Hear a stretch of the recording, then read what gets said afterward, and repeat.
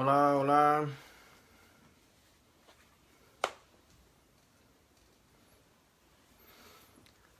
¿Qué tal muchachones? Ya estamos aquí.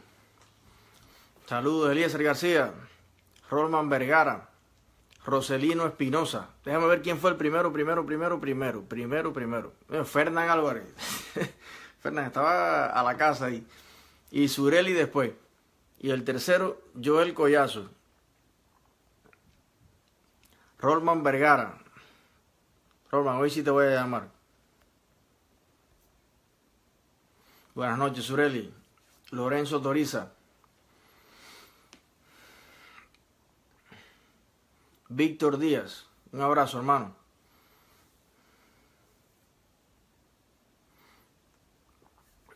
Efraín Dubois. Solé Pérez. Hello, paisano. Roberto Mesa. Juan Picaculo Tron. de la página Espías en la Red. Gustavo Domínguez, saludos. Judith Delgado, saludos también. Saludos, Juan. Bueno, ya como siempre, cuando estemos en, en 200 empezamos. Hoy vamos a tener una noche bien, bien interesante. Tenemos varios temas que han dado de hablar durante la semana. Yo iba a esperar el, el domingo, pero eh, tengo que hacer por lo menos, no sé, un día sí, un día no, hacer tres directas a la semana porque se acumulan muchos temas.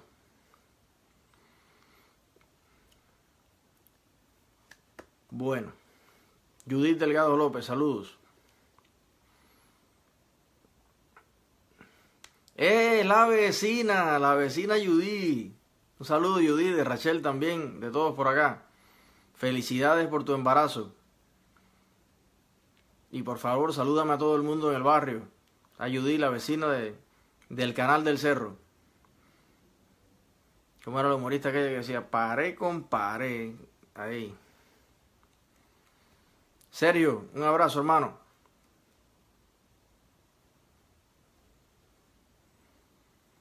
Santi Santi Esteban, somos más, seguro que sí. Tenemos a Lía Leslie. Lía, una emblemática joya de Puerto Padre. Un beso, Lía. Carlos Trujillo. Bueno, 2.47, ya podemos, ya podemos ir empezando. Bueno, eh, lo primero que quiero decirle hoy es que eh, quiero disculparme con todas las personas que me han escrito que eh, se quejan de que no los llamo en las directas. Yo le saludos, eh, Reinaldo, un abrazo. Mi padre de Miami, Reinaldo. Chucho del Chucho, hoy está bueno esto, no te, no te me despegues de ahí. Tenemos al sector ahorita por acá porque los temas que vamos a estar hablando tienen que ver también con él. Miren, no se ponga de nadie bravo porque no lo llame.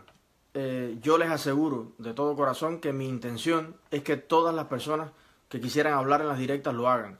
Yo hago estas directas sobre todas las cosas para unirnos, para que todos los cubanos tengan voz, para que podamos dialogar civilizadamente, sin agredirnos, sin faltarnos el respeto, personas de cualquier criterio político.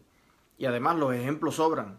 En las directas que hemos hecho he hablado desde fervientes fidelistas hasta fervientes trumpistas. Aquí no hay, en este espectro cabemos, cabemos todos. Eh, y yo creo que es bueno que la gente que tiene cualquier criterio lo exprese porque eso nos da la oportunidad de nosotros también decirle lo que pensamos y tal vez nos encontramos en el medio de ese, de ese camino. Eh, eso es lo primero. Que no se pongan bravos, que insistan, que yo, lo que pasa es que fíjate, es la dinámica de las directas. En la pantalla yo estoy viendo uno, dos, máximo tres mensajes. Tengo que comprarme una tablet o algo para, para ver más mensajes. Eh, y entonces, si yo estoy hablando con alguien, ahorita el Chucho lo explicaba muy bien, si yo estoy mirándole la cara a la persona que está hablando conmigo, los mensajes van pasando y no los veo. Entonces, en el momento que vuelvo a ver los mensajes, el que esté en ese momento ahí, pues es el que yo, es el que yo llamo. Pero les juro que no tengo ninguna intención de que alguien no hable, ni mucho menos. ¿Ok? Eh, quiero enviar un saludo muy, eh, muy fuerte, muy caluroso a Joanny y Reinaldo, grandes amigos, grandes profesionales, grandes profesores, ¿por qué no?, en muchas cosas, en redacción. Eh, fueron de las primeras personas que cuando nosotros intentamos mudarnos para La Habana, que parecía un paso gigantesco, imposible, que siempre nos brindaron un plato de comida, un, vaso de refresco y sobre todas las cosas excelentes consejos. Yo les agradezco mucho en la vida eh, a Joanny a Reinaldo, también a Dagoberto Valdés, a Miriam Celaya, a Rebeca Monzón, a Wilfredo Ballín. Eh, si algo me enseñaron mis abuelitos siempre es a ser agradecido en ese sentido y nunca me dará vergüenza. Digan lo que digan, eh, estén en contra quienes estén en contra. Eh, mis amigos serán siempre mis amigos. Y, estoy muy orgulloso de todos mis amigos. Así que les quiero mandar un saludo, mucho éxito.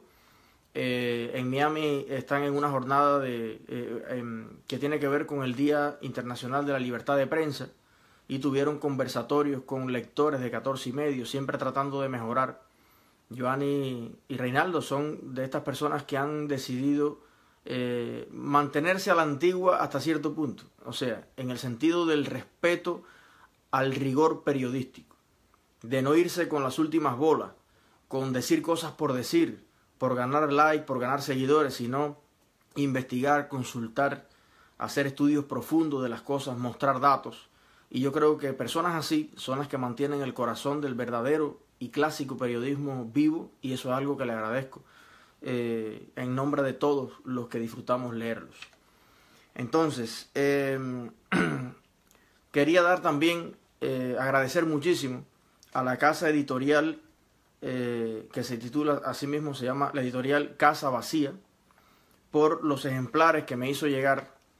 son joyas de verdad de, de la poética, de la literatura cubana y especialmente por esta joyita en especial a ver si se ve muy bien ahí, La cura que quisimos, que además se lo recomiendo a todos, yo lo estoy disfrutando muchísimo, es una compilación, una antología de artículos sobre la Revolución Cubana de Jorge Mañac.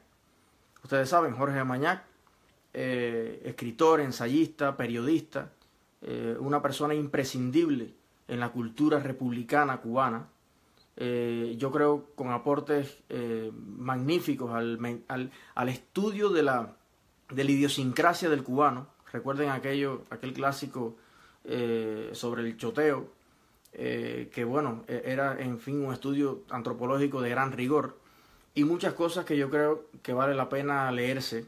Así que les recomiendo a todos este libro. La Casa Vacía es la editorial que lo publica y se titula La cura que quisimos. Aquí está reflejado desde los primeros eh, albores de la revolución, sus primeras simpatías como intelectual, como cubano, y luego ese proceso que rápidamente eh, dio al traste con la crítica, luego de la crítica, pues el ataque eh, de esa joven revolución a todos los que la criticaron, y esto se ve reflejado en el sentimiento de estos, de estos artículos, que lo van a disfrutar mucho. Así que gracias a Casa Vacía por tan excelente regalo.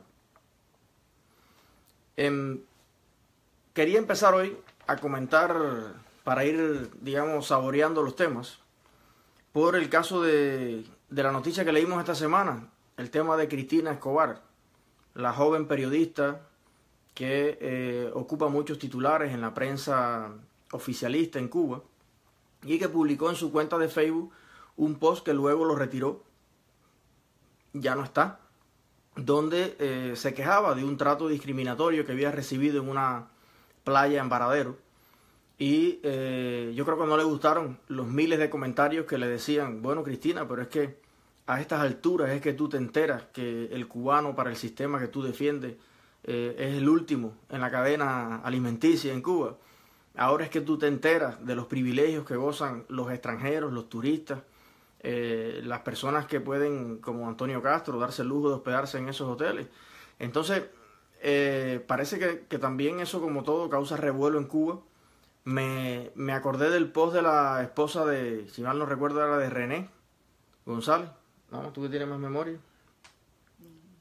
La esposa de uno de los cinco eh, que publicó también una queja de que no habían incluido a dos de ellos eh, la comisión electoral en el Parlamento.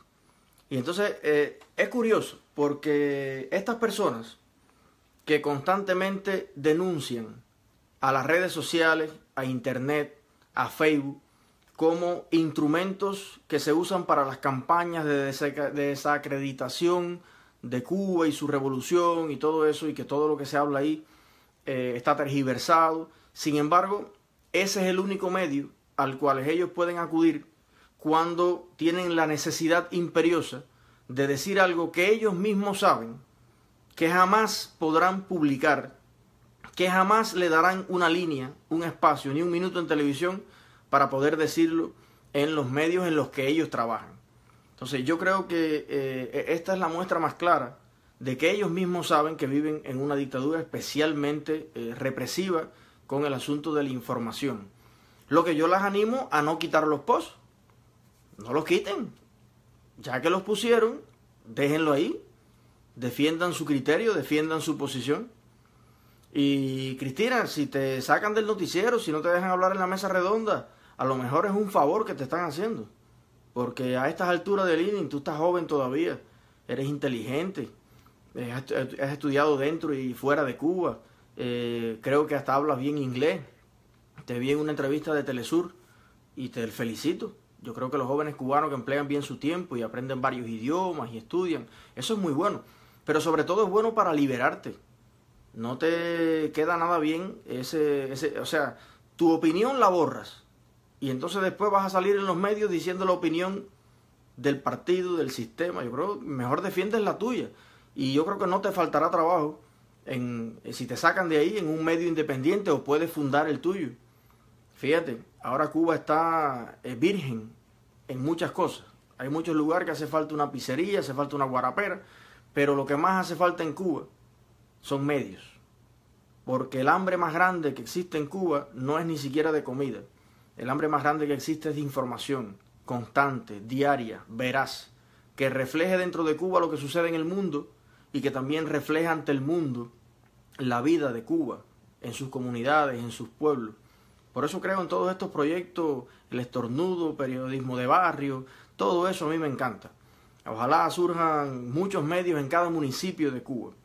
Voy a hablar de eso en mi columna mañana en Cubanet. La necesidad de crear medios comunitarios en toda Cuba y voy a dar ideas de cómo sustentarlo.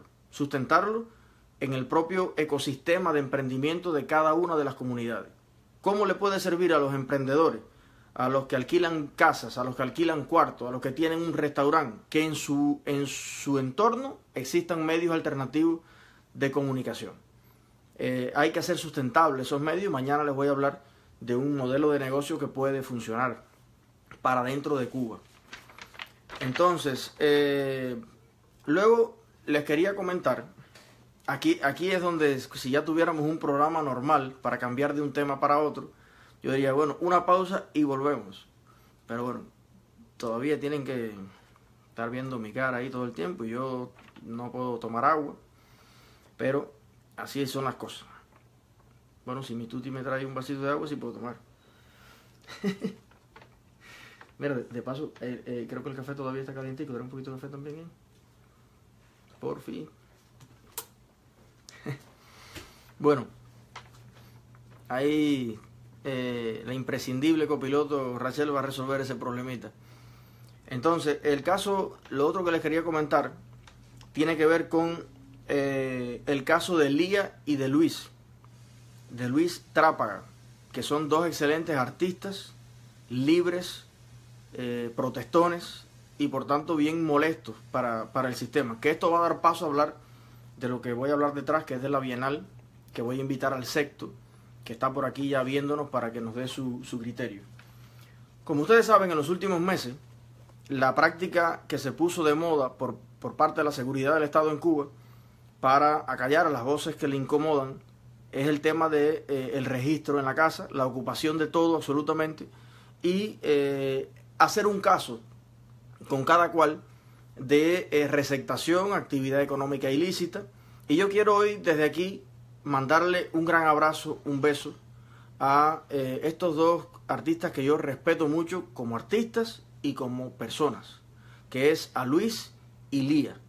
Dos personas que llevan mucho tiempo batallando en Cuba y que, eh, bueno, hace muy poco estaban ensayando una obra de teatro que iban a montar en su, en su casa, una obra de teatro alternativa, evidentemente eh, crítica y que refleja la situación eh, que se vive en Cuba. Y delante de todos los artistas que estaban allí reunidos para ver la obra de teatro, hicieron un gran operativo, sacaron a todo el mundo de allí. Hay videos de esto en internet. Inmediatamente después se produce un registro que cuando yo leí lo que había escrito Lía, sentí, recordé el día que nos lo hicieron a nosotros. Eh, que fue algo que yo creo que no se borrará de mi memoria mientras viva. Uno todavía a cinco y pico de la mañana, medio dormido, eh, sentir los golpes en la puerta y cuando te asomas tener un ejército de policías, más de 30 hombres, entre policías, gente de la seguridad del Estado, y casualmente la misma que dirigió el registro contra Lía fue la que lo hizo en nuestra casa. La teniente coronel Kenia eh, Serrano es el apellido. No, Kenia. Por ahí está el apellido. Kenia, que es una persona de las más detestables que ha, que ha parido nuestra tierra una persona carente de sentimientos, eh, carente de cualquier tipo de empatía, un ser humano muy complejo de entender que existan personas así. Y estas personas invadieron nuestra, nuestra casa, nuestra privacidad. A Rachel casi no le dieron tiempo ni de vestirse. Y de momento estábamos en la cama, rodeados de todos estos gorilas, de todos estos matones, que abrían con, con, fiereza las gavetas, eh, el escaparate, todo echándolo en sacos todo lo pusieron primero arriba de la cama y después lo echaron en sacos. Todas nuestras pertenencias, nuestra privacidad. Y después nos mantuvieron casi cinco meses en un caso eh, eh, legal contra mí. E, estaba esperando el juicio por receptación y actividad económica ilícita. Después de casi cinco meses, sin que se le permitiera ni siquiera a mi abogado acceder al expediente, violando todo lo establecido desde la Constitución hasta la ley de procedimiento penal, entonces me llega un, auto, una resolución, después de haber ido a las 15.000 vírgenes en Cuba, de un fiscal general de la República. Fíjense, yo invito a cualquier cubano, como si es por un caso de asesinato, a ver si puede hablar con un fiscal general de la República. Y entonces un caso de receptación en el cerro, supuestamente, de actividad económica ilícita, que eso es ahí a nivel de, de barrio, de la cuadra, un fiscal general de la República dicta un acto, auto en el que dice que el caso queda sobreseído, que eso significa archivado, que ya no se va a tener en cuenta, por falta de pruebas. O sea, no hay pruebas de que yo me haya dedicado jamás en mi vida a una actividad económica ilícita, ni he receptado ni un chupa chupa, pero queda decomisada todas las, piezas de convicción, que es todas las pertenencias mías y de Rachel, quedan decomisadas eh, porque el señor Eliezer Ávila dirige una organización contrarrevolucionaria ilegal en el país. Pero entonces me hubieras acusado de algo político, que igual, ¿no? Sería la injusticia del mundo, eh, sí o sí. Pero, fíjense, te acusan de receptación y actividad económica ilícita y después el propio fiscal en el auto reconoce que yo ni me he robado nada, ni he receptado nada, ni he hecho nada ilícito, simplemente dirijo una organización contrarrevolucionaria e ilegal en el país. Y por eso hay que quitarle absolutamente todo, aunque sea una persona inocente. ¿Por qué le hago este cuento? Porque es exactamente lo mismo que están empleando con Lía y con Luis y con muchos otros. Antes de mí le tocó a Cubalex. Ustedes recuerdan el caso de Larissa Diversen, que era un centro de asesoría legal, que por allí pasaron miles de cubanos que no encontraron consuelo en ninguna en ningún bufete colectivo, en ninguna fiscalía, y además lo que ellos orientaban allí estaba de acuerdo a la ley cubana, pero ni siquiera eso, o sea, eh, eh, los ciudadanos con un mínimo de cultura del derecho no les interesa. Le, ven un peligro en que la gente sepa algo de derecho como si es cubano. Por eso siempre creo que gran parte del éxito de esta lucha está en la cultura, está en el conocimiento, está en la preparación de las personas. Y a veces dicen que no, que todo eso es bobería. Aquí lo que hace falta es Pablo y Macana. Bueno, pero fíjense, ¿qué, qué, respeto le tienen ellos a esa bobería? Parece que eso es más Eso es, eso es más peligroso para ellos que cualquier otra cosa. Y por eso le van arriba con todo. Entonces, bueno, quiero enviar la solidaridad nuestra, de muchos de los que nos están viendo, el aliento a esta pareja de, luchadores, de rebeldes, que son Lía y Luis. Yo estoy tratando de conseguir las cosas que tenían que ver con mi caso para tratar por lo menos de, decirle lo que nosotros hicimos, cómo contraté al abogado, en fin. Pero temo que no va a servir de mucho, porque una vez que ya ellos deciden eh, quitártelo todo, darte ese golpe, que bueno, nosotros si no fuera porque íbamos a tener a la beba, fueran otras condiciones, teníamos tal vez que volver a empezar de cero pero eh, la situación especial que teníamos era bastante distinta. Pero bueno, eh, quería explicarle esto para hablar entonces de la importancia del arte y de la Bienal Independiente con la etiqueta número 00 eh, como nombre de esta Bienal que se está organizando en Cuba por parte de unos muchachos que han sido sumamente hostigados en los últimos meses. Y para empezar a hablar sobre ese tema, Quiero ver si ya el sexto está por ahí. Sexto, si estás por ahí mirando, hazme un comentario para traerte a cámara y que me ayudes a analizar y poner en contexto esta, esta bienal. Y ahí entonces voy a dar una noticia para analizarla entre los dos.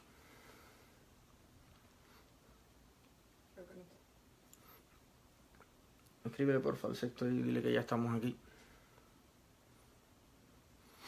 Mientras el sexto llega, eh, la cuestión es que eh, Luis Manuel Alcántara, que es uno de los principales impulsores de esta bienal, yo hablé con él personalmente eh, porque estábamos interesados, los miembros del movimiento que yo presido, en hacerle una modestísima donación. Yo hablé de eso como hace, hace como tres directas atrás.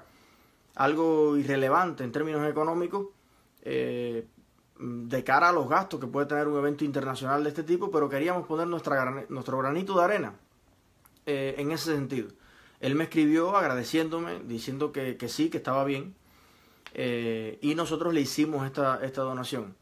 Ahora veo la gran campaña que le están haciendo de que esa bienal va a estar hecha con fondos de la contrarrevolución y todo ese discurso.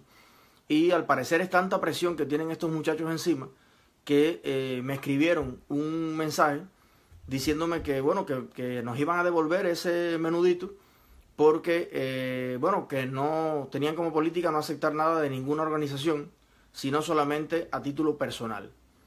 Eh, yo entiendo por lo que ellos están pasando. Yo sé lo que significa toda esa presión y sobre todo dentro de ese equipo de artistas hay personas que es primera vez que le está pasando esto. Esto es un proceso. Esto es un proceso donde todos tenemos donde todos perdemos la virginidad en un momento determinado de cara a la represión y esa primera vez duele el triple o duele 10 veces más. Luego ya te das cuenta de que eh, es un error creer que te están reprimiendo porque, porque bueno, eh, porque acepté dinero de tal cosa. Luego es porque me junté con fulano. Luego es porque se publicó un artículo en tal medio. Luego es porque le di una entrevista a Radio Martí. Y cuando tú te despojas de todo eso en tu vida, la primera reacción es huir, ¿no? Refugiarte en ti mismo y decir, bueno, voy a volver a la fuente original de mis inquietudes, que es mi propia vida. Voy a ser yo, yo solo, sin más nadie.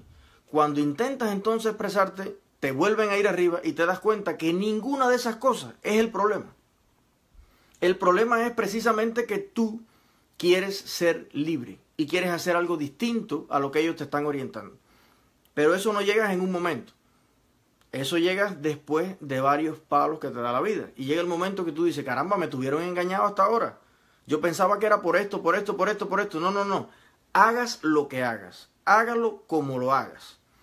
O sea, que no, no se vayan a pensar eh, estos maravillosos artistas jóvenes que yo estimo y respeto mucho, que por devolvernos los dos kilitos que le dimos Somos Más o otras personas que quieren apoyarlo. Porque al final lo de Somos Más es lo mismo que los miembros que pagan su cuota le dieran cinco pesos cada uno, que juntamos eso y a nombre del, movimiento se lo, eh, se lo hicimos llegar. Es igual, porque yo personalmente no tengo, ni, no tengo ningún dinero, yo puse mi, cuota en eso, ¿no? Eh, pero pensábamos que era bueno demostrar que los políticos más bien estamos al servicio del pueblo y del arte y además hagan lo que les dé la gana con eso. Si lo que quieren hacer es criticarnos a nosotros, bienvenido. Nos parece que así era mejor dar ese mensaje que no lo que hace el gobierno cubano, que es poner al arte, a la economía, a los abogados, a los periodistas, a todo el mundo, a servirle a los, a los políticos. Y con toda la mejor intención, pues lo hicimos. Pero ustedes van a ver que mañana se levanta la seguridad del Estado con 10 pretextos más. Y si ellos van a vetar la, la, Bienal, prepárense para resistir, hagan lo que hagan. Entonces, bueno, quería eh, invitar al sexto a que nos haga, hacerle un par de preguntas, porque él está mucho más eh, metido desde adentro, bien vinculado a las personas que desde el arte quieren promover, de cierta manera, cambios en Cuba. Y eso me parece bien interesante. Mientras llegue el sexto, eh, me avisa si está por ahí, escríbele, llámalo por privado. Em, voy a leer algunos mensajes o mencionar algunas cosas que, que, me llenan de satisfacción y que ya son un buen resultado de estas directas. Eh, bueno, compartan, compartan, compartan, eh, que siempre se me olvida decirlo, pero es bueno que todos compartan para que le siga llegando a más personas. como resultado de las directas me han escrito 17 médicos que están de misión en Brasil principalmente, pero en, todo el mundo. Médicos que están en África, que están en Sudamérica, Centroamérica. Y es bien interesante porque este fenómeno de los médicos eh, es algo que hoy eh, es una fuerza, es una fuerza política, aunque muchos de ellos no lo quieran reconocer y todavía tengan miedo a salir del closet político. De los 17 que me escribieron, 11 me piden que hable en las directas o que haga una directa especial para hablar de eh, el chantaje emocional, económico, político que le hace el gobierno de Cuba a todos los médicos que están de misión. Ya ustedes saben que si abandonan la misión o deciden simplemente hacer uso de su derecho humano elemental de vivir en otra parte, de trabajar en otro lado, de casarse, por lo que sea, durante la misión lo catalogan de desertores, de traidores, de vendepatrias y de todo lo que se les ocurra, y la sanción es privarlos de visitar a su familia, de ver a sus hijos durante ocho largos años. Y bueno, muchos de ellos me mandan eh, detalles de lo abusivo que son estos contratos, de las malas condiciones de trabajo. Eh, me cuentan rosarios, correos muy largos, muchos no los puedo leer. Eh, pero me dicen una cosa interesante. Eliezer, habla tú de estos temas o vamos a ver cómo te ponemos en contacto con personas, con médicos que están ya en otros países, como en Estados Unidos, en fin.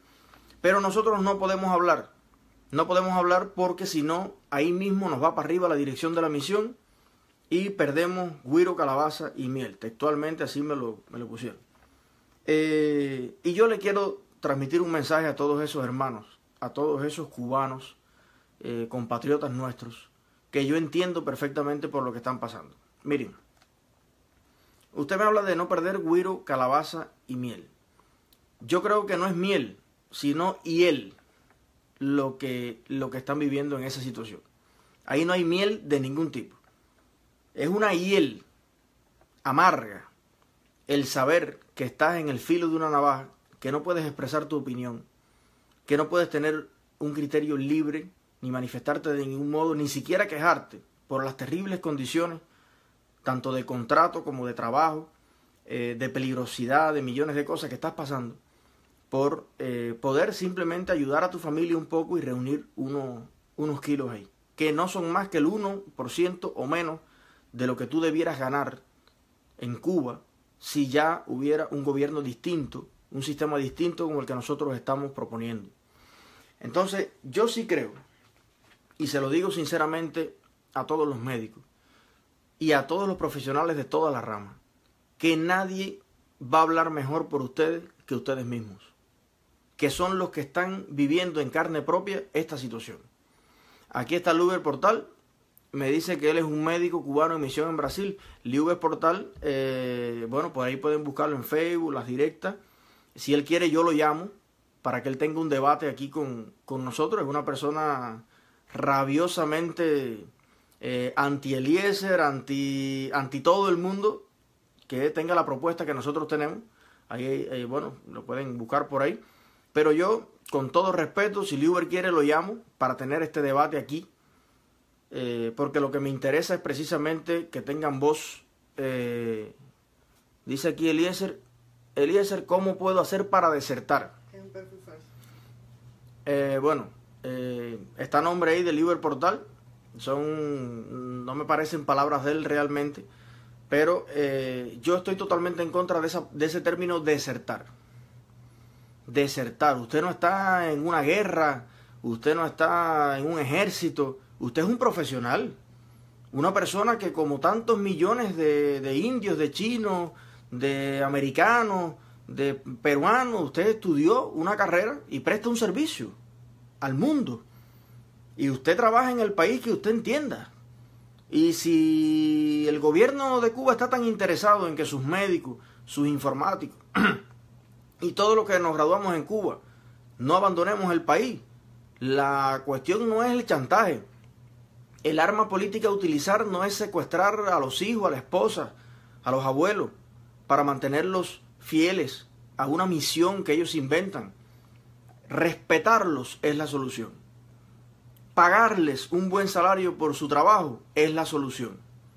Dignificar su vida, brindándole acceso a todas las herramientas modernas que tiene un profesional en el mundo, a tener una, una, casa decente, a tener su carro para mover a su familia, a tener internet, a poder simplemente irse de vacaciones a donde ellos le plazca modestamente con su trabajo una vez al año. Esas son las soluciones si un gobierno de cualquier parte del mundo quiere que sus profesionales hagan vida y produzcan en su país. Arreglar nuestro país para que sea la mejor casa para vivir es la solución. Nunca el secuestro, nunca el chantaje, nunca la extorsión. Así es como pienso yo. Así es como piensa Somos Más. Y ese es el programa de gobierno que le estamos proponiendo a los cubanos. Un cambio de visión total de cómo de cómo vemos y de cómo tomamos decisiones respecto a estas cosas. Entonces, bueno, te repito, Liuber, si quieres que te llame, te llamo, sin ningún problema, y hacemos aquí un debate civilizado y respetuoso sobre la situación de los médicos. Pero le digo a los médicos, el gobierno cubano, las estadísticas en Cuba lo indican que la exportación de servicios médicos pasó a ser el primer renglón primero o segundo, de la economía nacional. O sea, todo el aparato represivo del gobierno, todos los gastos, muchos de ellos superfluos, en marchas, en primeros de mayo, toda la política que financian ellos en el mundo, gran parte de eso lo están haciendo con el dinero que le están robando a ustedes de sus contratos. Y ellos no pueden prescindir de ese modelo de negocio. Por tanto, lo más importante y lo que hace falta que suceda aquí es que ustedes se pongan de acuerdo entre ustedes. Y antes de aceptar y antes de firmar estos contratos chantajistas y extorsionadores, ustedes entre todos, el sindicato verdadero, laboral, independiente, no tiene que ser la CTC, júntense y digan, no, no aceptamos esas condiciones. Presionen cívicamente, organícense cívicamente, respalden la voz de los médicos con más valor, más preparados y que verdaderamente los representan.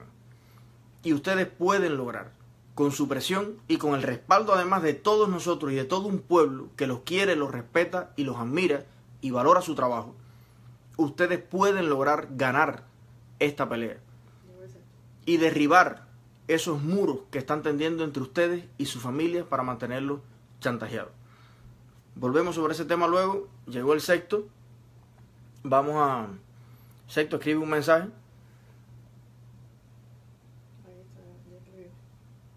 A ver.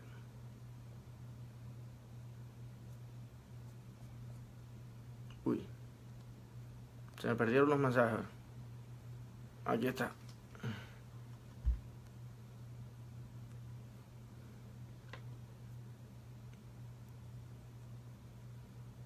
Ahí estoy llamando al sexto. Hoy estoy probando con el teléfono horizontal. A ver si ahora cuando salga el sexto sale a la mitad de la pantalla, que es más eh, interesante. Ah, funcionó, funcionó. ¿Qué hay? Perfecto. Tratando de poner esto aquí, bro, que se... Tremenda locura. Oye, Sexto, ¿tú puedes darme el teléfono del, del, del barbero tuyo? Oh, muchacho, ese tipo me dejó hablar. es que ah, me dio una barbaridad y no por pelarme. Yo no, cuando voy a Cuba no me pelo. Bueno, eh, varias cosas, hermano. Eh, primero, quería preguntarte, eh, te voy a hacer tres preguntas básicamente. Yo te hablé de, de, las dos primeras y ahora se me ocurre otra bien importante. Eh, tú estuviste en la cumbre de Lima, tuviste el privilegio, el honor de estar allí y yo creo que de representar muy bien a todos los cubanos. Eh, ¿Qué te parece en lo personal? Eh, que a mí, y te voy a decir lo que yo creo, eh, el tema del de, proyecto Cuba Decide, que me han pedido mucha gente que dé mi opinión sobre eso. Y a mí me parece que ha sido un gran logro el tema de poner por primera vez sobre la agenda de los políticos latinoamericanos y de muchos políticos del mundo que llevan décadas de silencio, de complicidad, hacer algún tipo de presión diplomática y civil. Esta red de jóvenes latinoamericanos han logrado pronunciamientos que son históricos respecto al tema eh, cubano. Y desde aquí le quiero enviar mi felicitación, mi admiración y mi respeto a Rosa María Payá eh, por liderar de cierta manera esta iniciativa y contaminar a tantos con este eh, espíritu, sobre todo en el plano eh, internacional. Entonces, bueno, te quería preguntar cuál es tu criterio sobre, sobre el proyecto y sobre lo que pasó allí en general. Bueno, eh, mi criterio sobre el proyecto, primero que Rosa es como, como familia, ¿no? Y puede ser que a veces yo esté en acuerdo o no en desacuerdo, como, como yo ya hablamos, pero lo que sí tiene muy, mucha importancia Cuba decide es que ha logrado, como, como tú dices, eh, a llegar a los lugares que, la, que, lo, que lo que exportaba la revolución eh, decían, vendían el papel de que todo era bien, que todo está muy bonito. Y es la primera vez que la oposición tiene una voz tan importante como esa, ¿no? que ha llegado como a, a saludar al presidente como el de, de Chile, está en la, en la, cumbre. Y creo que Rosa María está haciendo, o sea, efectivamente un buen trabajo y que lo, lo está demostrando cuando el, blanco principal, o sea, el principal enemigo ahora mismo, que te está dando cuenta de, la cantidad de ataques que ella tiene, de la cantidad de gente, o sea, por supuesto la oficialidad, eh, que la están atacando constantemente para desacreditar o, o, lo que sea, ¿no? Entonces eso te dice que es un proyecto muy efectivo. O sea, Daniel decía, pues si a los Castro les molesta, eh, Cuba decide, pues nosotros estamos con Cuba decide. ¿entiendes? Y eso básicamente lo que es. O sea, puede ser que yo entienda no un proyecto, puede ser que no esté o acuerdo no, puede ser que, que, que, por, mi, por mi forma de artista tenga, ¿sabes? Coincida con unos puntos, pero no puedo como constantemente eh, hacer ese tipo de trabajo, ¿no? Que es política prácticamente todo y que, y que ya lo está haciendo muy bien, ese es de lobby. Por eso tiene todo lo, mi apoyo siempre, ¿no? Eso, eso es lo, lo principal. Perfecto. Eh, durante mucho tiempo, yo creo que nos ha hecho mucho daño a todos los que tenemos un proyecto alternativo, ver otros proyectos como competencia y no como complemento. Eh, yo creo que forma parte del triunfo que podemos tener, crecer, madurar como seres humanos, como personas, y eh, siempre hablo en mis directas de la necesidad de que un cubano se alegre del éxito de otro cubano. Exactamente. Sea en la posición, sea en el arte, sea en los negocios, sea en la familia. Yo creo que eh, qué mejor si vamos a amar a alguien que amar a, a, nuestro, a nuestros propios coterráneos, ¿no? Porque Exacto. de cierta Exacto. manera somos, somos, hermanos, ¿no? Entonces, ¿qué, ¿qué opinión te merece esta cuestión de no competir, sino complementarnos? Exacto. Bueno, eso tiene mucha razón. Muchas veces la gente no logra la unidad, pero que tampoco, si nosotros queremos ir para la democracia, la unidad tampoco se va a lograr. Eh, porque la gente va a insistir cuántos partidos. Yo, yo mismo le decía a la gente de, de Cibercuba, eh, cuando me hicieron una entrevista hace poco, dice, bueno, yo me presento también para, para la candidatura presidencial, voy a hacer campaña en Cuba. Eh, ya eso se, se presentó Tania Bruguera. Ya alguien dice, no, pero que tú no tienes más cualidades que Giovanni. Pues entonces que Giovanni que se postule y tú votas por Giovanni. O sea, yo no quiero que, que, que, pasando el umbral este y el, el tiempo de la oscuridad, también exista un solo partido No. O sea, pero que yo coincida no con partidos diferentes no quiere decir de que cuando me da a referir tengo que estar consciente que hay un solo enemigo, ¿entiendes? Que, que son los Castro, que es una dictadura que está acabando con el pueblo de Cuba, que, es que acabó con, con, como generaciones familiares mías, por ejemplo. Entonces, puede ser que yo esté de acuerdo o no con cualquier proyecto determinado, pero si tiene mi apoyo, si está sacando la, cara y está diciendo que, mira, en Cuba hay una dictadura y están matando gente, hermano. O sea, ya a partir de ahí, tiene mi apoyo. Que no vaya a militar con este o con el otro, que me pase la vida pintando, porque al final eh, del día eso, eso es lo que yo lo que yo he hecho prácticamente, ¿no? Lo que, lo, lo, que elegí.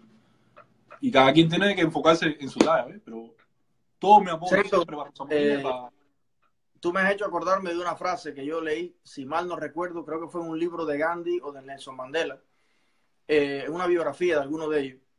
Y cuando le hablaban de los partidos, los distintos partidos, eh, creo que fue Mandela, él dijo, mira, nosotros somos distintos a la hora de buscarle solución a los problemas pero a la hora de defender la democracia y los derechos humanos, todos somos uno. Exactamente, hermano. Exactamente. Es la primera vez que veo que, una voz, que una voz se alza de esta manera, ¿no?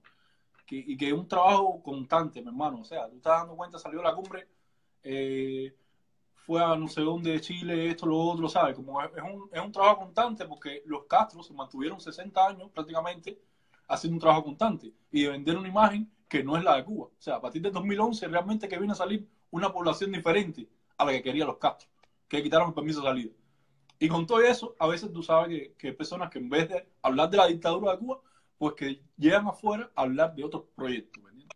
Sí, la gente se queda así, Correcto, no, tú llegaste hasta aquí para, para las quejas de fulano, no, no, no para hablar de la dictadura de Cuba. Sí, bueno, yo de hecho, en lo personal te digo que cuando oigo a Rosa María eh, defendiendo el derecho del pueblo cubano a decidir y a tener una democracia en cualquier parte del mundo, yo siento que me está representando también. Y yo siento que soy parte de su iniciativa, siempre, siempre lo he apoyado desde el principio, y también siento que Rosa María es parte de la nuestra. Porque de fondo, por métodos distintos, cada cual haciendo lo que es bueno o lo que sabe hacer, pero estamos luchando por un mismo objetivo. Entonces, bueno, por eso quería preguntarte ese tema, porque se habla mucho de la, de la falta de unidad, de la división, pero yo creo que al final no es tanto. Lo que pasa es que quienes dividen se ven más, venden más. Pero al final, eh, si contamos cuántos nos llevamos bien y cuántos nos apoyamos, yo creo que somos más. No, sí, fue, sí, no, estoy seguro, estoy seguro. Aparte, no solamente que, que, se, que se conocen aquí en las redes, hay personas que no se conocen en las redes, que están en Cuba, que están apoyando el movimiento, que están eh, a favor de, eso. Eh, eso es sencillo, bro. Si tú ves que tú no puedes llegar a un lugar y esa persona que está delante de ti llega y al final tiene el mismo regalo, pues entonces ponte para que ayude a darle la paz al pie para que para, para hacer la del muro. Ahora para que te, van a bajar la puerta por, por quién va a entrar y al final no se va a saber lo principal, ¿no? Que, que venimos viendo, venimos, ¿sabes? Venimos a dar un recado que, vital, que a nuestra familia lo están matando, mamá. O sea, así sencillo. Exacto. Eh, entonces, bueno, te voy a preguntar eh, la segunda pregunta que te quiero hacer hoy. Eh, para ti, ¿qué te parece, el, qué criterio te merece la fuerza que puede tener el arte en la ideología, en la, en la mentalidad de una nación? ¿Cuán útil puede ser el, el arte para cambiar las circunstancias, no solo para derribar un gobierno, que no, siempre es el único objetivo, pero para hacer reflexionar, pensar, madurar a las personas, ver más colores, ver más dimensiones de una realidad, cuán, cuán oportuno y cuán útil puede ser el arte como herramienta. No, yo creo que eh, si realmente eh, las personas quieren cambiar de una dictadura, lo que se ha probado lo que se ha probado en anteriores eh, situaciones es que el arte tiene la ventaja en, cuanto a eso, ¿no? En cuanto a, hacer resistencia con creatividad, en cuanto a hacer quedar mal a, los dictadores. Eh, o sea, tú ves a, a Václav Havel, fue presidente de, de, de, en su momento la dictadura de, eh, o sea, cuando se cae la dictadura, Václav Havel, que era un escritor y poeta, él logra la presidencia y así hermano, te das cuenta que la, que la cultura, el arte tiene una voz muy importante para cambiar la sensibilidad de las personas que están viviendo y hacer abrir los ojos. Eh, yo creo que no hay nada así que pueda realmente cambiar a lo positivo, que no sea el arte, que, que ayuda a las personas a mirarse, a ser sensibles, a un montón de cosas. ¿verdad? Que matando gente por ahí para allá lo que vas a hacer es otra dictadura al final del día. Sexto, eh, no sé si pudiste escuchar al principio, eh, no sé si me estás viendo, alguno puso que se había frizado. ¿Se tufó? Sí, yo te, yo te veo parado, o a lo mejor soy yo que estoy parado, no sé. ¿Me ves? ¿Me ves ahora? No, bro, Hola, hola. ¿Me escuchas? escucho sí. Ok, bueno, entonces, eh, solo eh, la tercera pregunta era eh, si habías escuchado el hecho de que eh, con tanta presión sobre los organizadores de la Bienal Independiente de Arte de La Habana, eh, nosotros le habíamos hecho una modestísima donación y eh, bueno, nos no la devolvieron porque había to- hay toda una campaña que los estaba acusando de querer hacer la Bienal con dinero contrarrevolucionario.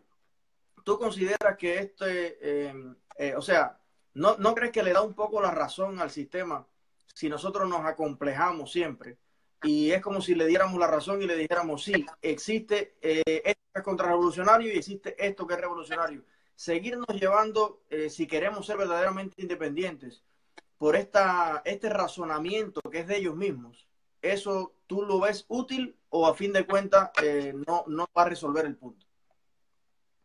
Bro, yo, yo, yo te digo a ti, eh, para cambiar cosas necesitan la, la gente necesita apoyo y cuando tú estás tra- trabajando con, o sea, estás conviviendo con una dictadura y estas personas están empleando dinero en armas, no en, no en arte, o sea, en armas, en caerte atrás la policía, en, en perseguirte, en meterte preso.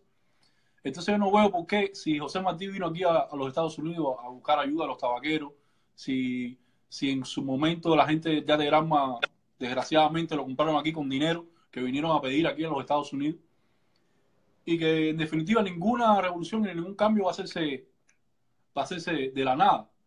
Y lo otro es que hermano qué mejor dinero empleado en arte. Mira cuánta cuánta educación no, no estamos brindando. O sea no estamos diciendo que vamos a comprar un arma un yate y vamos a caerle a tiro al sistema que hay estamos diciendo que hace falta dinero para hacer escultura para hacer eventos para hacer eh, exposiciones porque todos los espacios que tiene el arte en Cuba por supuesto que es de ellos, entonces no, lo quieren soltar de ninguna manera. Entonces, ¿por qué razón no vamos a aceptar de los mismos coterráneos, de la misma gente que, está apoyando la idea que al final del día la libertad para todo el mundo, para que está afuera y para que está adentro? ¿Por qué razón no lo van a apoyar?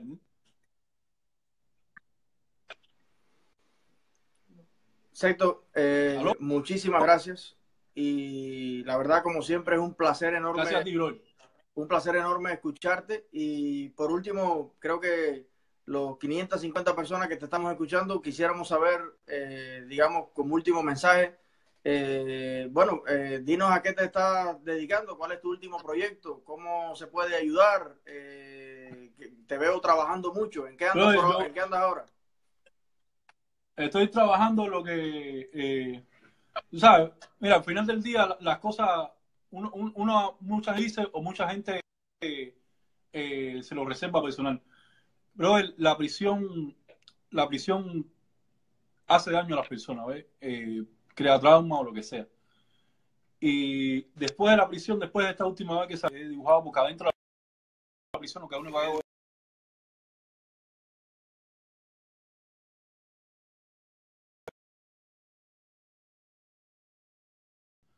es, es como más íntimo, más íntimo lo que estoy haciendo. Y que nada, tratando de, de- de sacar eso, esa oscuridad que hay en uno, ¿no? De, de- no sé, bro, trabajando más en, en lo que es la creatividad, ¿eh? Pa- e- ese es el proyecto que, ten- que- que tengo ahora. Eh, eh, hoja de papel y bolígrafo, dibujar, dibujar para tratar de, limpiarme, para tratar de, de, zafarme de- de- del trauma ese, que es lo que es una prisión, mamá. Para exorcizar los demonios. Sí, bro. Tremenda locura, bro. Entonces todavía la gente Oye, piensa que, no, que no. Sí, gracias a ti, no, dime, dime. No, que, que, el arte no eh, cambia, pero el arte sí cambia, hermano. El arte sí cambia. Hay que ver nada más el paso de avance tan grande cuando tocaron los aldeanos, cuando, cuando la gente escuchaba a los aldeanos, como no se, escuchaban, en la radio, no lo ponían en la televisión y todo el mundo lo tenía en la reproductora. La gente escuchaba a los aldeanos, brother. Y la gente gritaba coro, ustedes son unos cingados. O sea, porque como el arte se expande a un nivel enorme, o sea, estamos hablando de, de, canciones, bro, que se cantaban la gente y eso y eso llegó a que la gente se, perdiera el miedo, a que la gente diera un paso adelante y que sí, ¿por qué no voy a cantar esto si eso es lo que yo estoy sintiendo? Eh? Y ya, eso, eso, es lo que yo creo, bro. Eso es más importante que, que, que asaltar un, cuartel matando gente. Sí, ya ves. Bueno, Secto, te mando el mejor abrazo de, de, mi familia. Te admiramos y te, y te queremos mucho. Y bueno, saludos eh, de todos por acá. Gracias por estar aquí. Gracias, hermano. A ver, dale. A ver, coméntenme si ya me ven. Ahora sí, ya se ve. Están los reportando porque esto está lleno. Ok, bueno, parece que está la trolería hoy ahí bien artillada. Y entonces, bueno, nos están reportando, empiezan las cosas raras a suceder. Pero eso pasa cuando, como le decía Don Quijote a, a Sancho, si, si, los perros ladran es porque estamos avanzando. Así que eh, gracias a todos por, por estar ahí. Bueno, vamos a seguir en lo que estamos. Me decían por aquí que llame Aldo eh, será un placer. Si Aldo el Aldeano está por ahí, eh, Silvito el Libre, mis grandes amigos que están allí en, en Tampa, que les deseo muchos éxitos, pues los llamo sin, sin problema. Entonces, bueno, nos habíamos quedado antes de hablar con el sexto con el tema de, de los médicos, ¿no? De los médicos y, que mi mensaje era ese, o sea, hay que probar a organizarse ellos mismos Nadie, eh, Joanny tiene una frase que a mí me gusta mucho que dice, eh, lo mejor que puedes hacer es narrarte a ti mismo. Nadie te va a narrar mejor que tú. Y eso, eso es algo que yo les digo a todo el mundo. A mí me, escribió hace poco un señor que es ingeniero eh, agrónomo. Y él trabajó, me comentaba que trabajó como 5 o 6 años en esta finca experimental que tiene, que tuvo Fidel Castro que ahí hacían los experimentos esto con la moringa, eh, con todas esas cosas locuras que se le ocurrían. Y bueno, aquello le daban carácter científico. Y había todo un equipo de ciencia detrás de todo aquello. Y él me contaba, ¿no? Que decía cómo hasta se reían muchos de ellos. Pero bueno, ese era su trabajo, era su salario, complacerlo ahí en esto. Y entonces había que hacer informes científicos detallados de las proteínas, del esto, de lo otro, cosas que nunca derivaron en, en nada positivo para Cuba, ni, ni, nada que se le parezca. Pero él me contaba todo esto y me decía, bueno, te voy a hacer llegar toda la información para que tú la publiques.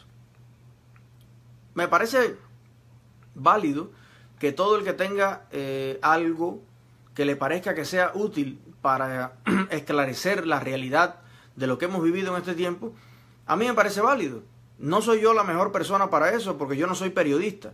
Yo soy una persona que tiene una propuesta y un proyecto político. Pero si le hacen llegar eso a, cualquier periodista, a mí me parece genial. Pero yo creo que todas las personas, sobre todo si ya están fuera del país, lograron salir y ya no tienen, eh, no los va a ir a visitar el señor que los atiende. Eh, yo creo que todo el que tenga algo que decir, algo que plantear y no lo diga, en cierta medida eh, está en complicidad con lo que está pasando. O sea, yo exhorto a todas las personas que han ocupado posiciones privilegiadas, que han estado al lado de todas estas figuras que han sido, muchas de ellas, nefastas para la nación cubana, que conocen de primera mano el fracaso, la mentira, la corrupción, en muchos casos, que está detrás de todos estos proyectos. Señores, díganlo, salgan en cámara, con su cara, con su nombre, con sus apellidos. Hagan ese acto de dignidad para la historia al menos pasarán a la historia como alguien que fue capaz de poner en claro todas estas manipulaciones que ha sufrido el pueblo de Cuba, una tras otra. Entonces no, no manden más recados. porque nadie lo va a hacer mejor que ustedes. Yo los llamo, los pongo aquí en cámara. Eh, yo o cualquiera que trabaje en, la televisión, y de verdad, séanle sinceros al pueblo de Cuba. Díganle lo que vieron, lo que leyeron, lo que sintieron, muestren sus evidencias. Y yo creo que van a, van a hacer una gran contribución, no solo a la historia de Cuba, sino a su presente y sobre todo a su futuro. Entonces yo los exhorto a todas esas personas que me escriben, que son muchas, ¿eh? son cientos de correos, contándome interioridades de cosas, contándome eh, actos de corrupción que, ellos presenciaron, contándome cómo funciona eh, tal cosa o tal más cual cosa por detrás de bambalinas, que yo a veces no tengo tiempo de, leerlo todo, de verdad, porque el trabajo no me lo permite. Pero eh, los exhorto a todos a salir con su cara y explicar todo eso. Es lo mejor, es lo que más le vamos a agradecer los cubanos, como lo hizo el escolta aquel que reveló la vida secreta de Fidel y demás, cómo nos enteramos millones de cubanos que aquel eh, líder modesto eh, de la dictadura del proletariado, que vive por los humildes, para los humildes y todo eso, bueno, pues tenía sus islas privadas, sus yates, eh, sus casas paradisiacas con, con, con zoológicos, como lo tenía solamente Pablo Escobar en su momento. Entonces, como los vinos, los lujos, los whiskies, las cosas que le gustan, cómo nos han tenido engañados durante tanto tiempo. Entonces yo creo que es válido que compartan eso. Y háganlo ustedes mismos. Porque al final yo no sé muchas veces si ese correo que me mandan es verdad, es media verdad o es mentira. Entonces ya cuando hay una cara, un nombre detrás de eso, entonces sí vale la pena eh, compartirlo. Entonces bueno, eh, quiero leer también antes de llamar a algunos de ustedes, porque eh, hoy mm, esto va a durar exactamente dos horas. Una hora que es como tal, bueno, la exposición que yo hago, los criterios que yo doy, y después vamos a debatir con todas las personas que están ahí insistiendo que los llamen. Eh, ustedes saben que yo aprendo mucho de todo lo que ustedes dicen aquí. Conozco muchos cubanos que después hacemos, por privado me llaman y hacemos proyectos de todo tipo políticos, económicos, de trabajo, de todo, porque este es un espacio para conocernos y para que se conozcan entre ustedes. Entonces yo después voy a llamar a, todos los que están ahí diciéndolo. Por último quería leerle este mensaje que me llega de un correo que se llama desde Roger del Monte. No sé si del Monte, porque yo conocí una Lina del Monte. Yo creo que ese es un apellido eh, establecido en Cuba. Eh, no sé si canario. Pero bueno, el correo dice Roger del Monte y me dice, estuve hace poco en Cuba y me impresionó que en medio de la ignorancia que tienen muchos sobre los temas políticos, varios jóvenes a los que le pregunté te conocen y te siguen. Y de hecho mis dos sobrinos tienen en su computadora tus videos y dicen que tú eres su líder. Cuando les dije que te veía en las directas, me encomendaron darte su mejor abrazo y agradecimiento por haberle abierto los ojos. Eh, este es el tipo de mensajes que te alegran el día. Afortunadamente estamos recibiendo cada vez más de estos mensajes, sobre todo dentro de Cuba. Y yo creo que vale la pena lo que estamos haciendo, los debates que estamos promoviendo. Y esto poco a poco va teniendo una incidencia en eh, una cantidad creciente de cubanos. Así que los felicito a todos ustedes porque estas personas no solo me ven a mí, también lo ven a todos ustedes. Y van a ver el domingo o sea, pasado mañana, a todos los que disciplinadamente me mandaron su discurso de hasta cuatro minutos, ¿eh? que el domingo la directa vamos a enfocarla para Cuba y vamos a poner en línea eh, mis cuatro minutos, el discurso de lo que yo dijera en la televisión cubana, si me dieran cuatro minutos, y vamos a poner en línea todos los discursos que ustedes me han estado enviando. Todavía están a tiempo. Fernandito, si estás por ahí, pon la dirección tuya para que la gente sepa a dónde enviar su discurso. La pregunta es, si te dieran cuatro minutos en la televisión cubana, puede ser uno, dos, tres, hasta cuatro, ¿qué le dirías a los cubanos? Entonces, eso va a ser una directa que es eh, para Cuba directamente y hay mucha gente que va a estar conectada desde Cuba para descargar estos videos y repartirlos y, compartirlo con su familia y con sus amigos. Así que los exhorto a todos a que todavía nos manden su video. Ya tenemos unos cuantos. Bueno, eh, está Roxana por ahí. Déjame dar algunos saludos. Está Rosana, está Juan Carlos Martínez. Roxana es mi suegra, para el que no lo conoce. Eh, tenemos por ahí de nuevo a Juan Picaculo Tron. Eh, es un nombre muy particular, ese apellido yo no sé si será vasco. A ver. Eh, dice Jordani Crespo a qué hora es el discurso. Es el domingo a las 9 de la noche. La directa la vamos a dedicar una live por Cuba, directamente. Todos los que nos enviaron su discurso, eh, tenemos los medios cubanos no nos dejan hablar, no nos ponen, así que nosotros por esta vía alternativa le vamos a hablar a los cubanos. ¿Ok? Entonces, Víctor Ramírez, saludos. Josué Infante, eh, Josué, que es un, joven emprendedor exitoso, de esos que llevan el espíritu cubano a todas partes, que yo creo que el espíritu cubano no es lo que cuenta la gente por ahí, que si es bulloso, que si se viste así, que hace, no, no, no. El espíritu cubano que he visto yo en todo el mundo es una persona que sale con una mano delante y una detrás, y en cuestión de dos, tres años, cuando tú lo vas a ver, está parado, está derecho, está con proyectos, sabe más de lo que sabía, y ha pasado bastante trabajo pero se siente orgulloso de eso porque ha logrado al menos estabilizar, sostener a su familia y tener un proyecto.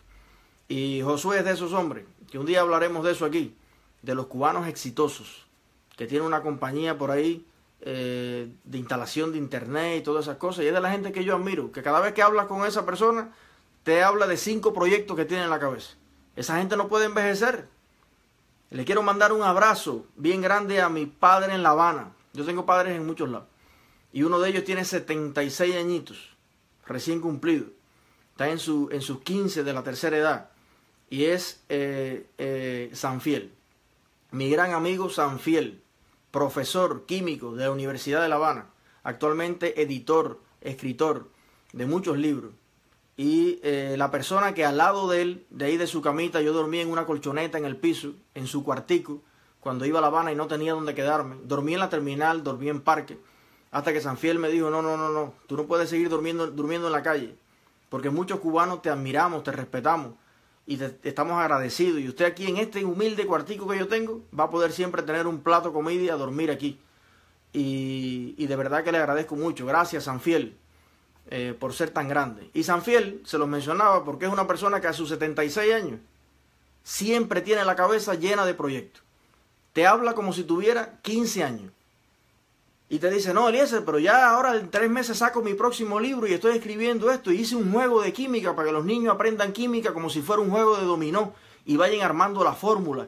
Y estoy haciendo esto otro para que los niños mejoren la ortografía. Y son de esos grandes creadores cubanos, anónimos, verdaderos héroes anónimos, que han dado todo por la cultura, por la educación cubana y que nadie se los reconoce.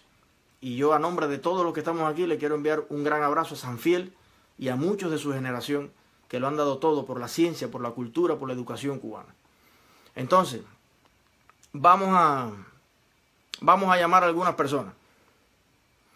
Así que me pongan por aquí, llámame y vamos a poner bueno esto. Déjame darme un traguito de café. Que lo hice yo. ¿eh?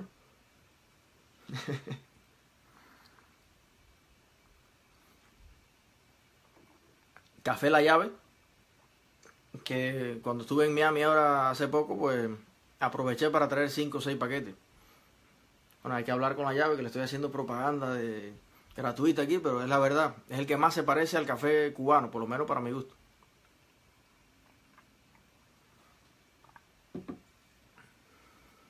Dicen por aquí Aldo. Bueno, ¿dónde está Aldo? Eh, ¿Tú ves a Aldo, Iván? ¿Dónde está? A ver. Eh, comentó hace poco. Pero Aldo, Aldo el aldeano. No. Aldo el amigo nuestro de... Aldo Prado. Ah, Aldo Prado. Bueno, a ver dónde está. Rolman Vergara, vaya, hoy te voy a... Oño, Rolman, qué mala suerte tú tienes. Rolman Vergara, antes de hacer la directa me dijo, oye, hoy sí me tienes que llamar o hoy sí me voy a poner Vergara. Mira, lo toco, tac, y no me sale la camarita. Eso suele pasar cuando no estás por el teléfono, porque estás por la computadora. O que vire la... O que vira, no sé, por alguna razón no me sale eh, para llamarte, Rollman. Perdóname. No, lo intento de nuevo y nada. ¿Alguien más por aquí? Aldo Prado, si sale por aquí lo llamo. Profesor Aldo Prado, aquí está. Vamos a llamar a...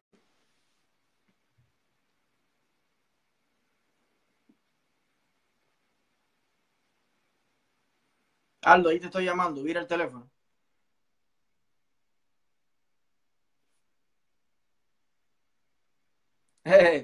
Dice eh, Jago Loco Tejeda, el café que más se parece al cubano. Hola, hermano. Ahora hay que mirar el teléfono. Fíjate, lo tenía, lo tenía en la otra forma y decía, no, no puedo entrar, no sé qué pasa, pero bueno, aquí vamos. ¿Cómo está, compadre? Saludos. ¿Cómo está? Todo bien, Aldo. Oye, tú sabes que a mí me gustan mucho las fotos que tú tienes de perfil, porque yo soy enfermo a los perros. Ah, esa es la foto del perro mío, ese es mi, mi último hijo. Le echo mucho menos a Vela y a Pelusa. Y bueno, ya, ya nos reencontraremos. Ya, ya. Oye, eh, Bueno. dale saludos a tu esposa también, que sé que está ahí contigo. Gracias, hermano. Aquí está. Pues mira, me quedé pensando, me, me quedé pensando en lo que hablamos la última vez. Y se me ha ocurrido algo, porque ya que estamos hablando de- del papel del exilio, somos casi 3 millones, ¿no? Es lo que se calcula, según dicen. Mira, eh, estaba pensando en la propuesta de Rosa María, y en fin, es de- sería algo de, de mucha utilidad para los cubanos que queremos lograr esta unidad del exilio, ¿correcto? Yo estaba pensando, ese plebiscito, ese plebiscito, ¿por qué nosotros no tomamos la iniciativa y lo hacemos aquí? Es decir, Primero, Sí. Nosotros nunca nos hemos tomado en cuenta ninguna votación en Cuba. Nosotros somos el único pueblo que cuando emigra no tiene derecho a hacer política ni a decidir la política de nuestro país. Yo pienso que, que si se hace ese plebiscito con los 3 millones de cubanos que estamos aquí afuera, que tuvieran un apoyo internacional, marcaría una pauta tan grande en el mundo y, y contra la propia dictadura, que yo creo que sería un arma genial. No sé si tú... si- Oye, esa idea está genial, compadre, porque evidentemente eh, el futuro de Cuba es algo que debe ser consultado, se debe haber ten- tener en cuenta todos los cubanos del mundo, exacto, estén donde estén.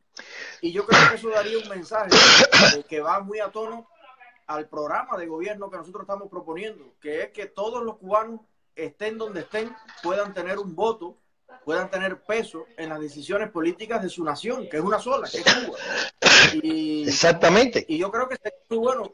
Eh, le voy a trasladar esa, esa idea a Rosa María y yo creo que sería eh, un ejemplo democrático mundial, que en todos los países lo que no hace el gobierno cubano lo hagamos nosotros y habilitemos urnas en todos los países y al menos podríamos saber cuál es el criterio de eso, de esa muestra, de esa muestra de cubanos. Exacto. Yo creo que va a ser algo bien, impactante también para, para el mundo.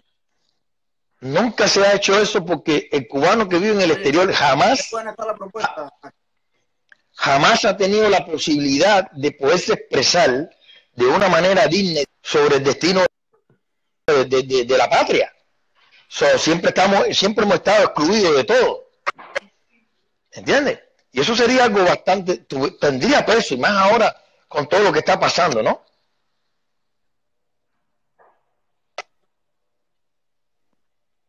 Chao. ¿Me estás escuchando? ¿Eliezer? ¿Me escuchas? Bueno, a mí, a mí se me frisa un poquito de vez en cuando, pero parece que los demás te están oyendo bien. Yo creo que es el internet mío que con, pagando 29 al menos no, no es de la buena buena. Yo creo que eso sería, sería un... Yo, sí, lo que estuve diciendo los otros días, y lo he estado repitiendo ya en varias ocasiones, otras cosas que he visto. Eh, cualquier propuesta que sea viable, donde demuestre el peso del cubano en opiniones y en criterios, es algo que nos favorece al final a todos. Oye, eso está buenísimo, compadre, porque serían eh, embajadas ciudadanas. O sea, la urna estaría en alguna, en alguna iglesia. Por ejemplo, me, me imagino que en Miami pudiera estar en la Ermita de la Caridad. eh, y las colas de cubanos para votar serían, serían grandísimas y es un voto simbólico eh, muy, muy, muy importante, que son básicamente las personas que están de cierta forma sosteniendo la economía del país y tendrían ese peso, ¿no? Y por lo menos ya no se podría decir más, o sea, eh, ya se podría decir cuál es la voluntad democrática de todos los cubanos emigrados en este caso, o que están fuera del país por alguna razón. Y, y eso también sería un paso importantísimo, porque ahí está casi un tercio de la nación cubana. Exacto. Entonces, habría que ver que iría en la boleta donde la gente pudieran expresar todo lo que el sentimiento mm, más común que tiene el cubano con respecto a, Cuba, con respecto a la patria en este caso, ¿no? Y entonces, pues, es que, es que lo estuve pensando los otros días y yo dije, bueno, esto es una propuesta interesantísima. Es decir, vamos a seguir luchando por el plebiscito en Cuba para que también los 11 millones de cubanos que estén en Cuba tengan la oportunidad de decidir, ¿no? Es un proceso que es viable, pero es difícil. Pero para nosotros aquí, que estamos afuera, pues no es difícil. Tenemos la libertad de poderlo manifestar sin ningún tipo de problema. Y déjame decirte, porque aquí en las redes... En... Te, lo, te lo pensaste, pero le echaste bueno. es más, aquí hay muchas personas que defienden aquello, que tienen tendencia comunista o izquierdista, que participen también, ¿por qué no? Que tengan ese derecho de participar. Si están en contra, pues no hay ningún tipo de problema. Esa, esa es la democracia, que tengan su opinión, para que no se sienta nadie excluido.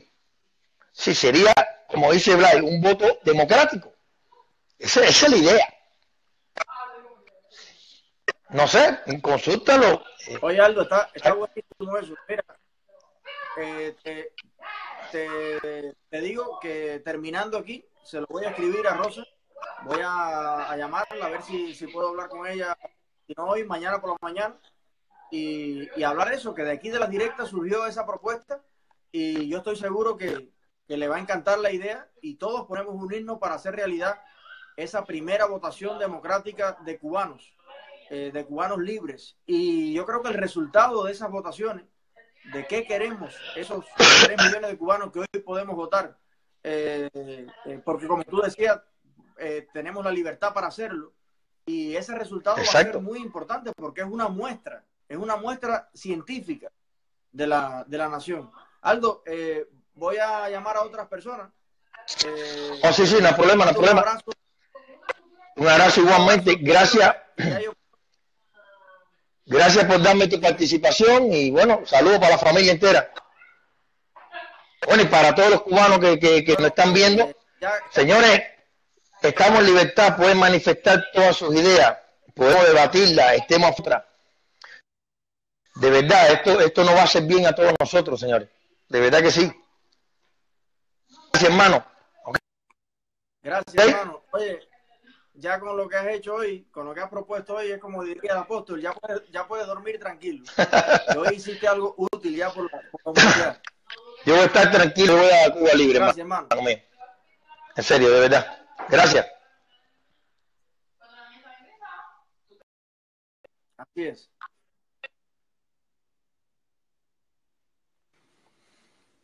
Bueno, eh, sí, voy a llamar a Rolman ahora. No, Rolman me mata si no habla hoy. Eh, oye, de verdad,